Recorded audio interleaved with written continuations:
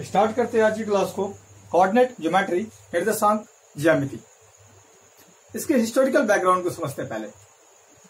Thales 640 two 546 BC Pythagoras 580 two 500 BC and Euclid 300 BC इन सभी लोगों ने ज्योमेट्री को मैथ्स के अंदर एक नई पहचान दिलाई। फ्रांसीसी mathematician René Descartes. 1596 two 1650 AD तक।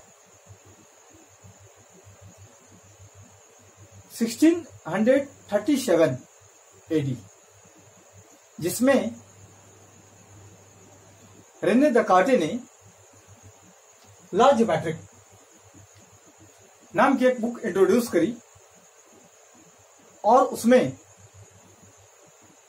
ज्योमेट्री को अलजेब्रा के साथ इंट्रोड्यूस किया और ऐसे कोऑर्डिनेट ज्योमेट्री या फिर एनालिटिकल ज्योमेट्री अपने अस्तित्व में आती है। ये सरफेस है, ये वाली। आपको ये सरफेस दिख रही है क्या, ये वाली? इस सरफेस को एक्सटेंड करते हैं। वो कुछ कैसे?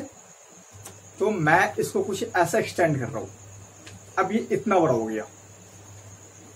अब ये जो सरफेस हुआ, ये सरफेस कुछ आपको एक्सटेंड हो करके इतना बड़ा बन गया। यो यहाँ से लेके यहाँ तक। ठीक? अब इसे फिर से एक्सटेंड कर रहा हूँ और एक्सटेंड करके कुछ अब ऐसा कर दिया। अब ये और बड़ा हो गया, जो यहाँ से लेके यहाँ तक का हो गया। अब इसे कुछ और बड़ा कर दी, वो यहाँ से लेके यहाँ तक हो गया। तो ये क्या रहा? ये जो सरफेस रहा, यहाँ से लेके यहाँ तक का पूरा सरफेस ये प्लेन कहलाया। मतलब जो फ्लैट सरफेस था ये वाली आपके पास है फ्लैट सरफेस थी। आपने इसको बढ़ा के बढ़ा के बढ़ा के इनफाइनाइटली फार तक ले गया और ऐसे आपको प्लेन मिला। प्लेन को बोर्ड पे ड्रॉ करते हैं।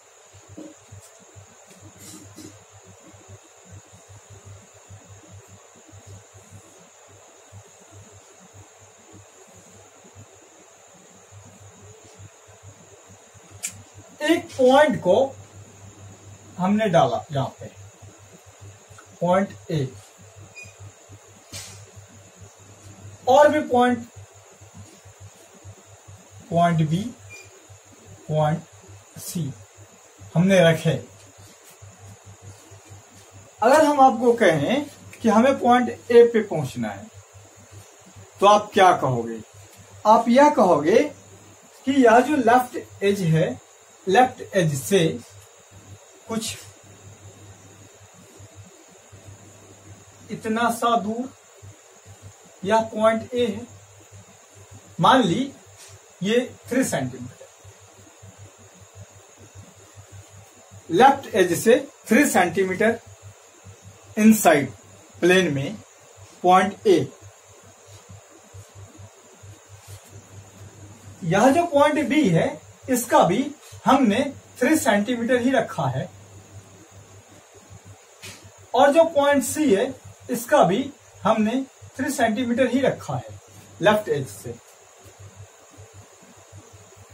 तो क्या लेफ़्ट एज से थ्री सेंटीमीटर इनसाइड अगर बोल दी जाए तो यह ज़रूरी है कि पॉइंट ए पर ही पहुँचा जाएगा? नहीं। ऐसा कोई ज़रूरी नहीं है। पॉइंट बी पर भी पहुँच सकते हैं। पॉइंट सी पर भी पहुँच सकते हैं। आपको पॉइंट अगर ए पे पहुंचानी है तो कुछ ऐसा कह सकते हैं क्या? कि यह जो बॉटम का एज है, इस बॉटम के एज से यह जो पॉइंट है, वो कुछ टेन सेंटीमीटर पे है। मैं अगर कहूँ कि बॉटम की एज से पॉइंट ए टेन सेंटीमीटर पे पड़ रहा है। और यह जो लेफ़्ट एज है, इससे पॉइंट ए थ्री सेंटीमीटर अबे है, इनसाइड, प्लेन के अंदर। तब तो पॉइंट ए पे पहुँचा जा सकता है। पॉइंट बी कुछ ऐसा? ये मान ली सेवन सेंटीमीटर पॉइंट सी मान ली टू सेंटीमीटर है। तो आपको पॉइंट ए पे पहुँचना है, या पॉइंट बी पे पहुँचना है, या पॉइंट सी पे पहुंचनी है आपको। तो दो लाइंस आपको फिक्स करने पड़ेंगे। ये दोनों लाइंस आपस में एक दूसरे को जहाँ इंटरसेक्ट करे, करेगी। Point of intersection taken as the zero which is origin O origin O और इसे ज़ीरो कहा जाता है। मतलब ज़ीरो कहा जाएगा left left edge and bottom edge ये दोनों पेयर्स ऑफ़ लाइन के लिए ज़ीरो है ये। दोनों फिक्स्ड लाइन ओरिजिन पे जहाँ पे इंटरसेक्शन हो रहा है ज़ीरो है। इंटरसेक्शन ओरिजिन की जो वैल्यू है, दोनों लाइन के लिए ज़ीरो है इंटरसेक्शन पॉइंट पे। फाइनली आपको यह समझ में आया होगा कि अगर हमारे पास किसी भी पॉइंट को लोकेट करना है तो पॉइंट को लोकेट करने के लिए दो चीज़ें का होना अत्यंत आवश्यक है। एक तो पॉइंट फिक्स्ड जो करेंगे वो और दूसरा डिस्टेंस जो फिक्स्ड डिस्टेंस होगा, जिसको आप यूनिट के रूप में यूज़ करेंगे। तब जाके आप किसी भी पॉइंट को लोकेट कर पाओगे। एब्सोल्यूट सेंस में किसी भी पॉइंट का लोकेशन पॉसिबल नहीं है। जैसा आपने देखा ए पे पहुँचने के लिए हमें इसकी भी ज़रूरत पड़ेगी। सिर्फ़ ये थ्री सेंटीमीटर ले लेने से हम ए पे नहीं पहुँच सकते हैं। अगर हमें बी पे पहुँचना है तो ये थ्री सेंटीमीटर और ये सेवन सेंटीमीटर भी लेनी पड़ेगी। तब हम बी पे पहुँचेंगे। अगर हमें सी पे पहुँचना है तो ये थ्री सेंटीमीटर और ये टू सेंटीमीटर भी लेनी पड़ेगी। अगर हम ऐसा नहीं करते हैं जो बॉटम की फिक्स्ड लाइन है फिक्स्ड एज है इनसे डिस्टेंस मेजर ना करेंगे तो हम इस लाइन में कहीं भी थ्री सेंटीमीटर दूर जा सकते हैं। अब इस लाइन में हमें ए पे पहुँचना है तो हमने इस डिस्टेंस को फिक्स कर दी। है ना? ये बॉटम की लाइन से बॉटम की एज से। पॉइंट ए या पॉइंट बी या पॉइंट सी किसी भी पॉइंट का एडजेक्ट जो लोकेशन होगा, वो आप ओरिजिन को फिक्स्ड किए बगैर नहीं बता सकते हो। और एक जो डिस्टेंस की यूनिट मेजर करोगे तो वो डिस्टेंस आपको रखनी पड़ेगी। तो यहाँ पे हमने इसी बात को लिख रखा है है ना? ये दोनों बात आपको समझ में आ गई। तो ऑरिजिन जो फिक्स पॉइंट होगा,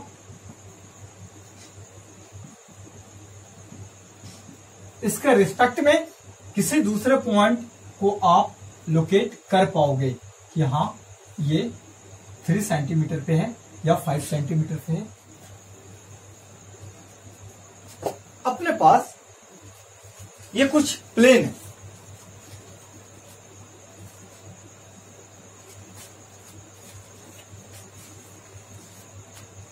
एक प्लेन ये है और एक दूसरा प्लेन ये है।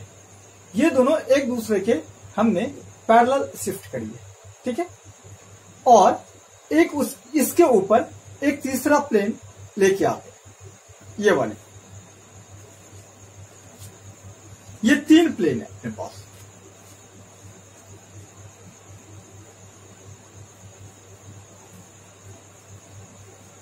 ये जो थ्री प्लेन्स है, ये इसको कुछ ऐसा सेट कर लू ये। ये रहा थ्री प्लेन्स ये थ्री के थ्री प्लेन्स एक दूसरे के पैरेलल शिफ्ट इसी चीज़ को कुछ बोर्ड पे ड्रॉ करते हैं।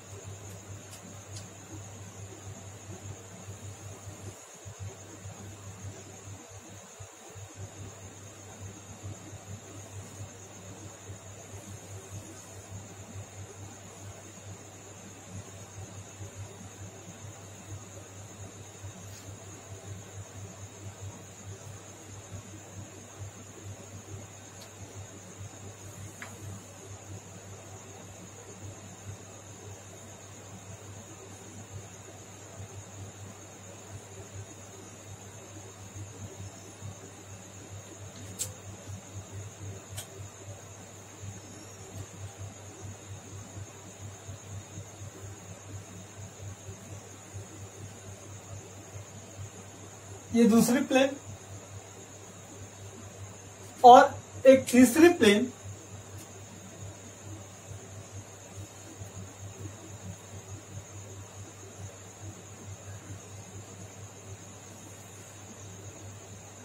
कुछ ऐसे शिफ्ट हुई। अब इन तीनों प्लेन को कुछ ऐसे हमने सेट करा। है ऐसे। ये एक प्लेन है। ये एक प्लेन ये दूसरा प्लेन जो था, इसको हमने कुछ ऐसे सेट करा। ये दूसरा प्लेन रहा। और ये कुछ तीसरा प्लेन रहा। कुछ ऐसे हमने सेट करे। ये थ्री प्लेन्स थ्री प्लेन्स दिख रहा होगा आपको?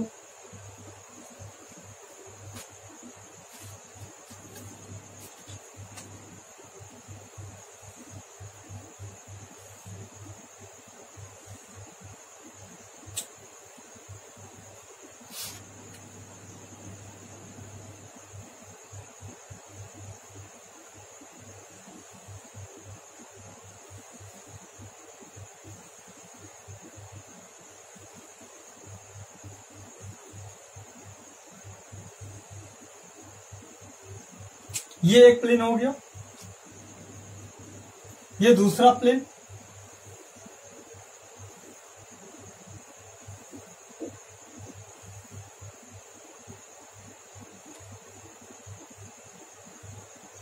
और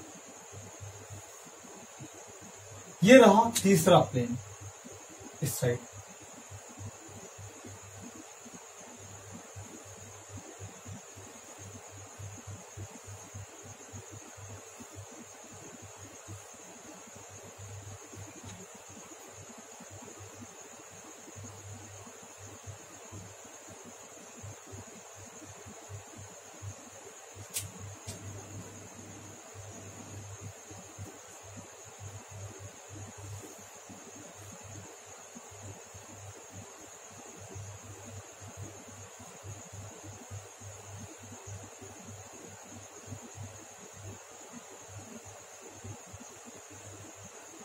इसे मैंने कुछ ऐसे ड्रॉ कर दिया।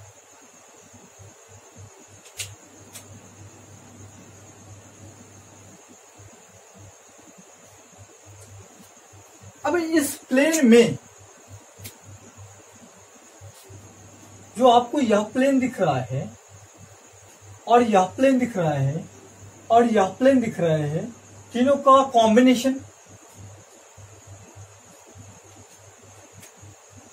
ये प्लेन का as intersecting point origin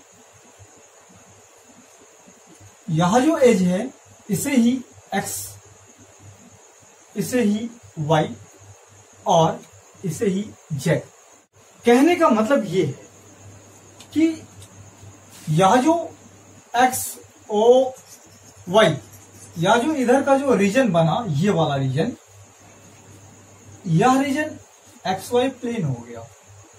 origin से जो लाइन हॉरिजेंटल दिख रहा है, जिसे हमने एक्स बोल रखा है, एक दूसरा लाइन वाई वर्टिकल और एक जेड जो वाई और एक्स दोनों पे परपेंडिकुलर है। तो ये जेड एक्स होगा अगर अपने पास एक्स और वाई एक्सिस पे बात करनी है तो यह जो सतह दिख रहा है सरफेस ये वाली, इस सरफेस के ऊपर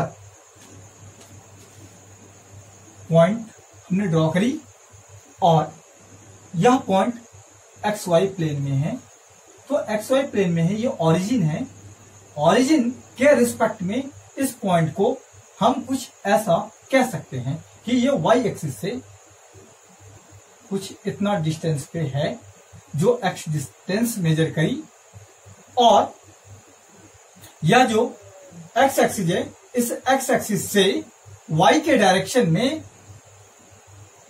मैग्नीट्यूड ये कुछ वाई है। तो यह जो पॉइंट है, इस पॉइंट का कोऑर्डिनेट एक्स कॉमा वाई जो ऑर्डर्ड पेयर है। एक्स पहले होगा वाई फिर उसके बाद होगा। X comma Y is not equals Y comma X इस बात को हम देखेंगे आगे। तो इसे ही ऑर्डर्ड पेयर बोलते हैं। तो ऑर्डर्ड पेयर के फॉर्मेट में कोऑर्डिनेट सिस्टम को लिखा जाता है। कार्टिजियन कोऑर्डिनेट सिस्टम ठीक है? और अगर यही पॉइंट हो जेड एक्सिज में कुछ ऐसा उठा दिया जाए, ऐसा तो क्या हो जाएगा ये? एक्स वाई और जेड ये पॉइंट ऐसे, अगर ये पॉइंट मैंने हमने इसको उठा के यहाँ पे रख दी तो क्या? तो यह पॉइंट एक्स और वाई सरफेस में लाई कर रहा है, और ये जेड एक्सिस इतना जेड एक्सिस जो है, ये वाली, इस पे इतना डिस्टेंस उठा हुआ है है ना? इधर, बाहर की ओर, बाहर की ओर। प्लेन के परपेंडिकुलर आउटवर्ड तो एक्स वाई जेड तीन एक्सिस थ्री डायमेंशनल अगर टू डायमेंशनल आपको रखनी है तो इन तीनों पैरामीटर से किसी दो पैरामीटर को ले तो एक्स और वाई बन जाएगा। ठीक है? जिसे टू डायमेंशनल कार्टेजियन जिमेट्रिक्स हम लोग कहते हैं। ठीक है। और ये रेक्टेंगुलर या फिर पोलर या फिर ऑब्लिक या फिर ट्रायंगुलर कुछ ऐसा two dimensional coordinate geometry use करते हैं हम लोग, ठीक है? तो इतनी सारी बात को ध्यान रखिएगा। Thank you so much